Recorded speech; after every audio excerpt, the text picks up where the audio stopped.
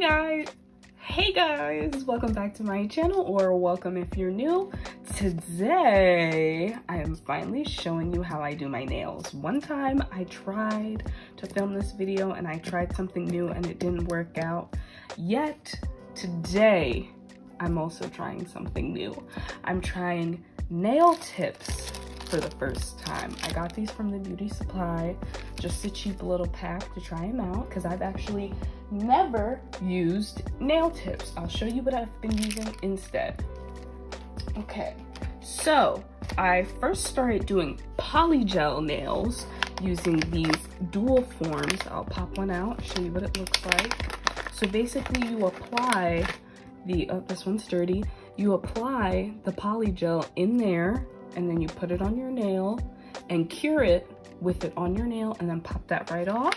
These don't actually work for me because they don't shape to my nail correctly. They're too curved. I actually think that it would be pretty easy to do these if I had straight forms, but expensive. But yeah, these are from Makartt.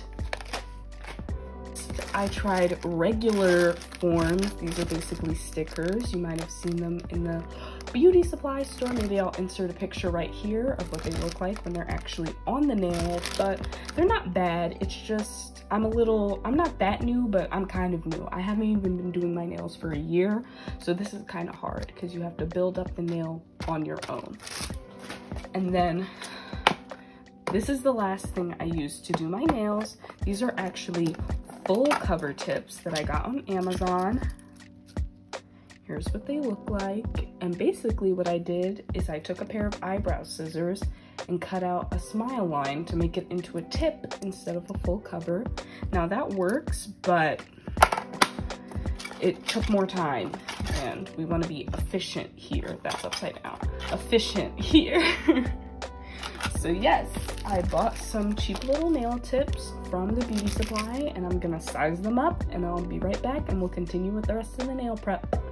Okay, as you can see, I have my tips all lined up here and now I'm gonna go ahead and switch over to time-lapse mode because I'll be doing a voiceover for today's video. How exciting! Alright, I'm starting off my nail prep with the Sally Hansen Instant Cuticle Remover to push back my cuticles. We want to make sure that the nail bed is as exposed as possible. So, gotta make sure to push back those cuticles. As you can see here, I'm pushing them back with a little orange stick. Then I'm going in with some 70% isopropyl alcohol to dehydrate my nail beds, as well as shaping up my free edge with my Makartt nail file.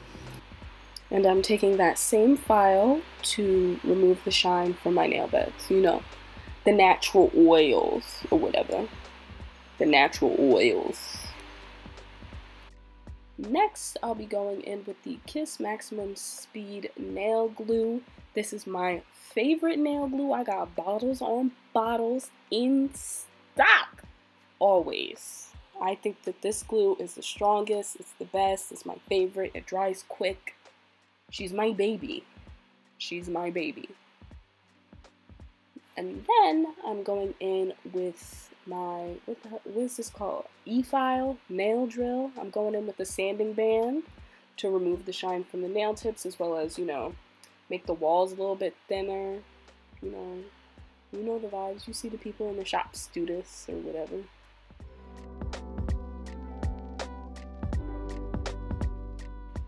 As you could tell, I'm back at it again with that Makartt nail file. I'm about to start shaping my nails after I clip them my desired length. And I'm going back in with that nail file. I definitely prefer manual filing over the e-file. That's just my preference. You got a lot more control over what you're doing, especially because I am a newbie. Alright, here I'm going in with the Makartt base coat that comes with their polygel kit.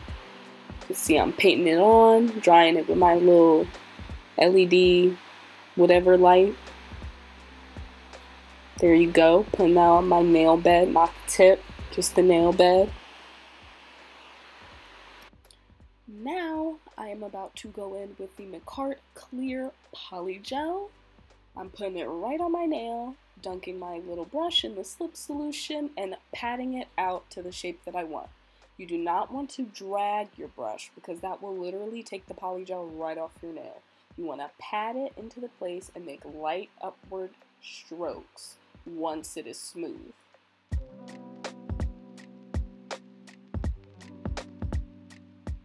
Then here I'm going in with a little q-tip dipped in acetone to clean up any of the flooding around my cuticle. Now I'm going to dry my nail under my UV light between each coat for 60 seconds. And then as you can see, I'm building up the nail again with that clear.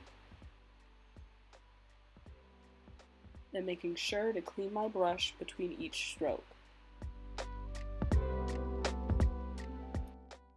Okay, I'm going to show you another nail. I'm putting the polygel directly on the nail again. I rotated my paper towel so I'm not wiping my brush off in the same place and I'm doing the same exact thing. I'm patting it down once it's smooth. I'll do light upward strokes to make sure it's nice and even. And then I dry in between coats.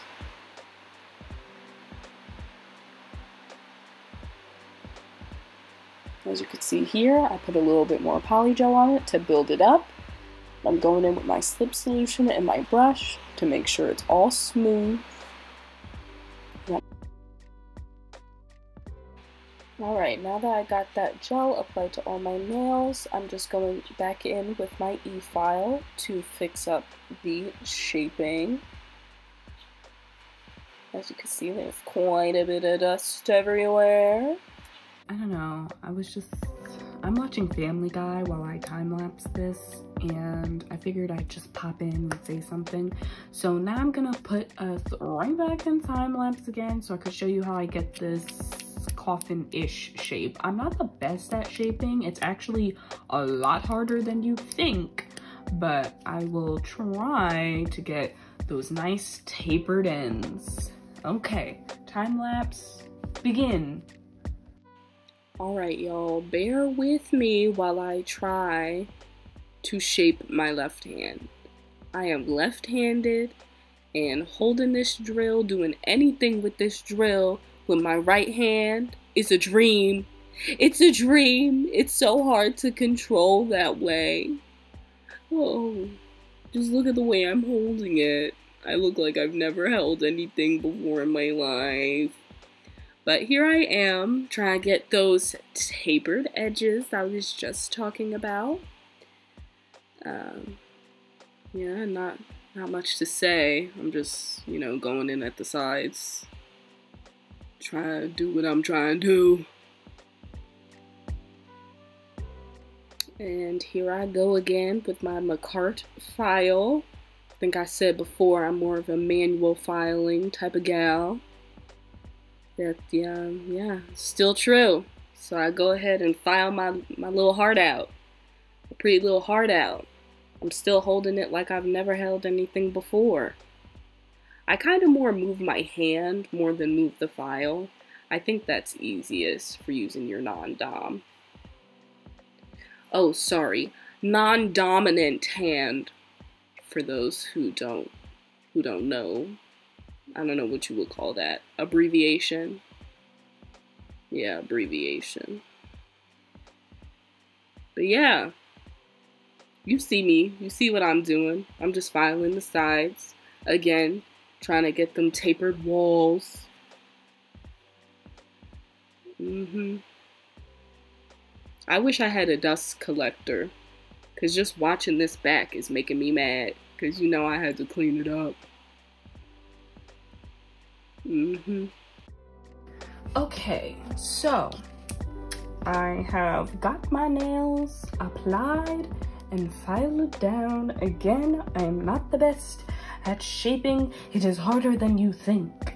And I've got my colors picked out. I decided I'm gonna do a pink look because I'm lazy and I can't think of anything else right now. These are all dollar store nail polishes, but they get the job done. So let's get to painting. Boop, boop, boop. I think I'm gonna do this darker color on my thumb and pinky, and this on these finger. Mm. I kind of want this to be on two fingers though. So maybe I'll have this on two fingers and then this just on my index. So that's the plan. Gonna stick with it, with it. Gonna do one of these. Make sure everything's mixed. This is LA Colors Color Craze number 110 uh, Space Cadet. Most of these I got from my local my local dollar stores. Multiple. So yeah, we're just gonna load that on the brush and it's gonna it's gonna take a couple of coots, but it'll be pretty once we get there. You can't even see what I'm doing. Sorry. It is now 2.30 I want to be asleep by like three. Looks like that won't be happening. But yes. Just gonna go ahead and paint the length of the nail. Just like that. There's our first coat. Then I'm gonna go in with the LA Colors Color Craze Gel, which means it it shines like gel. And this is shade Princess Vibes. I'm so tired. I'm going a little insane right now. I don't like this nail look. Already regret the color palette I chose. Ugh, it's ugly. That ugly.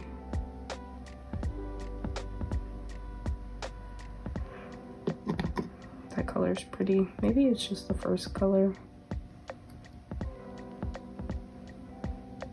Can you see? Okay. But yeah, also y'all, I'm sweating in here, like absolutely sweating because I don't have my fan on for this.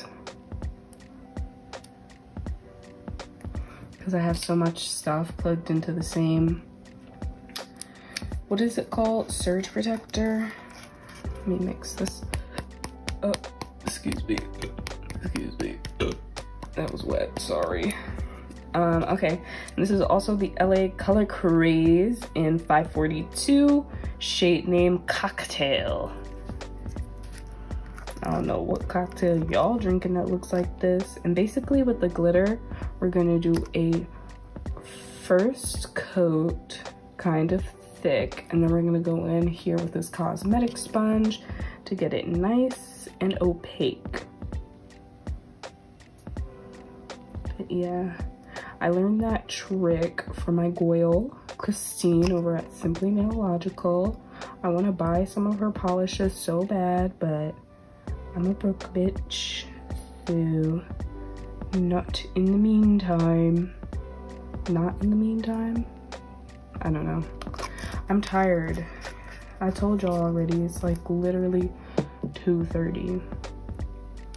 All right, and we're gonna let those first coats dry and then we're gonna go in with the second coat. Okay, so I'm back. Time to do the second coat. I'll try to do them the same, whoop, the same order I did last time. Uh, I just don't like this color. Why did I choose this one out of all the ones I have? Ugly color choice. Ugly choice. Great, now I got a fuzzy on my brush. Now for the fun part is doing those accent nails. What you're gonna do is try grab try grab as much polish as you can, load it up onto the sponge. And basically what this does is that the, the sponge absorbs the jelly that the glitter is suspended in, right? So then when you put it on your nail, you get more glitter. Thank you, Christine from Simply Nailogical. I'm your biggest fan just because of this. I use it all the time. Like, I have a highlight on my Instagram with my nails on it. And if you ever look in there and you see me with a glitter nail, I most likely use this method or I have these little pots of loose glitter that sometimes I like dip my nails into, but more likely than not, if it's a hollow glitter, I did this. So, yeah. Doesn't that look so nice? See, that's one coat normally, and this is one coat normally plus the, um, damn, I forgot what she called it. She used to say dab, dab, dab make your nails look fab, I think. It's been a minute since she's posted like a nail video, but yeah. Okay, so here you see I literally touched all of them to see if they were dry. And now it's time for my secret weapon, a gel top coat. I may not have gel polishes, but I have a gel top coat and my trusty dusty white here. Uh, sorry. Uh, just repositioning so I can get in frame and get into it so you can watch me put this glossy, magnificent top coat on.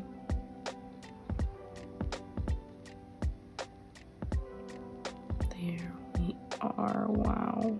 Wowie wow. I honestly could have put another coat of polish on, but it is now 301 and I am ready to knock out. So these nails are just gonna look how they look. It's been a while since I did my nails actually. I think the last time I did them was in March or April one of those two. Now I'm gonna wrap the ugly tip. I forgot to do on the other nail. And then we're gonna put the bottle far away and put our thumbs in the light and hope we don't get a heat spike. By the way, I wanted to tell you guys so bad, when I did the base coat on, I well actually on both hands when I did the base coat and cured that the heat spike that I got was crazy. It hurt so bad but you know I just I acted like everything was okay but it was not. It really was not. But as you could tell I'm more of a person that does nails for like far away appearances. This is obviously not my artistry yet. I only started doing like nails for real for real in December because I actually got this polygel kit for Christmas. And um, yeah, because I really wanted to start doing nails. Before then, I was doing my nails with the full cover tips I showed you at the beginning of the video. So I would just glue those on and do really extravagant designs with them. Like I was buying regular nail equipment for them, but I just didn't have acrylic or gel or polygel or anything like that. But now that I have it, I do a new set every couple of weeks, but since COVID-19 rules our world right now, I haven't been doing new sets because what's the point? And I felt like bacteria gets easily harbored under nails so I took them off for a while. But I'm back and I'm better. I'm I mean yeah I mean I guess I'm better. I didn't have to do that much cleanup by the cuticles and I actually really love these nail tips